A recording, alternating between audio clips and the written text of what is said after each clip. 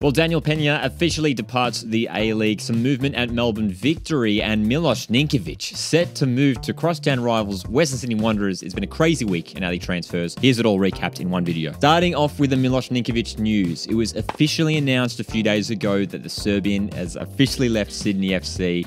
They did finally after, it was a few weeks ago, of course, that whole dilemma where Ninkovic posted that video on his personal Instagram. Sydney FC was scrambling. A few weeks after that, they're finally given Ninkovic their farewell. And there are strong links from all over the place, Milos Ninkovic to a move to Western Sydney Wanderers. It would be absolutely massive. It would be one of the most insane moves we've seen in A-League history. And it would take that Sydney derby next season to another level. But for the Sky Blues, they have managed to re-sign captain Alex Wilkinson and young striker Patrick Wood, who are continuing on for the next season season. Shifting over to the west side of Sydney Wanderers are continuing their busy rebuild. They have by far have been the most productive club this off-season. They have signed Oliver Bozanic. Of course, plenty of confusion around the situation with Bozanic at Mariners for the last few months of the recent A-League season. He has officially joined Wanderers on a two-year deal. It's a good pickup for Western Sydney. Wanderers have made another international signing by bringing in Yeni Ngbakoto, a winger. He's 30 years of age, has played some football in, in the Championship in England as well as League 1 in France. And right back, Gabriel Cleur has returned returned to the club after spending some time with the Wanderers Academy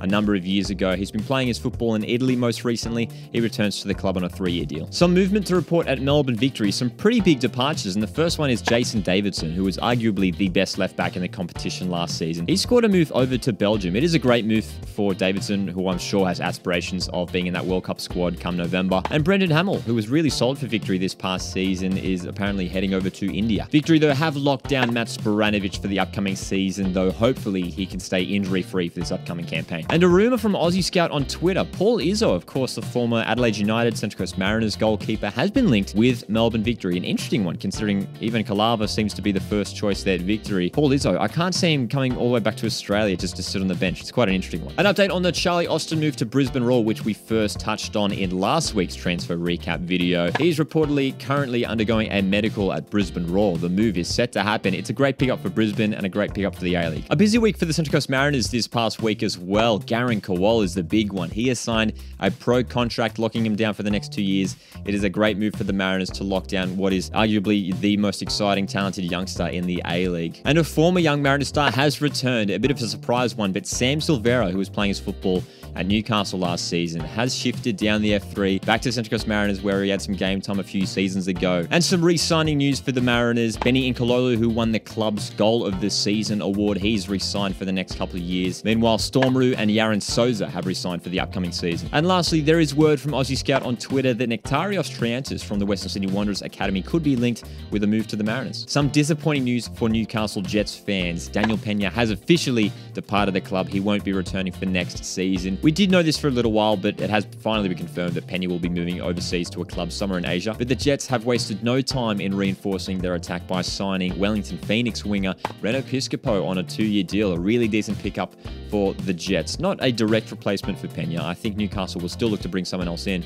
but Piscopo, really promising signing. And again, another Aussie scout tweet linking Mark Natta, the Western Sydney Wanderers centre back, to a move to the Jets. Melbourne City might have just signed their replacement for the departing Connor Metcalfe. Richard van der Venne, a 30-year-old Dutch midfielder, has joined the club on a two-year deal. Really interested to see how he goes in the A-League. Perth Glory have made a fairly impressive defensive signing in this past week. Mark Beavers, 32 years of age, the Englishman, has joined the club from Western Australia. Looks like a decent pickup. He's plays football in the Championship, League One in England, and could make a really solid partnership in defence alongside Darryl Lachman for Glory. Kosta Barbarouses has rejoined Wellington Phoenix for his third stint at the club. He joins on a two-year deal. Of course, Kosta has had success at Sydney FC and Melbourne Victory, a good pickup for Wellington in my opinion. Adelaide United have secured one of their most promising young players. Bernardo Oliveira has re-signed for the next few seasons, while James Delianov, the goalkeeper, this one's a bit of an interesting one for me, has signed on for the next two years. It'll be quite fascinating to see who starts in goals for Adelaide next season. Will it be Joe Gauci, who really impressed last season? Will it be Delianov, who started over Gauci in the past? Or will Gauci maintain a spot as the first choice keeper of the Reds? And lastly, the Bulls have extended contracts of two of their current players, Jake McGing and Charles M'Mombwa. So another big week of A-League transfers. Which one caught your eye? Let me know down in the comments. The big one for me, Milos Ninkovic, looking like he's heading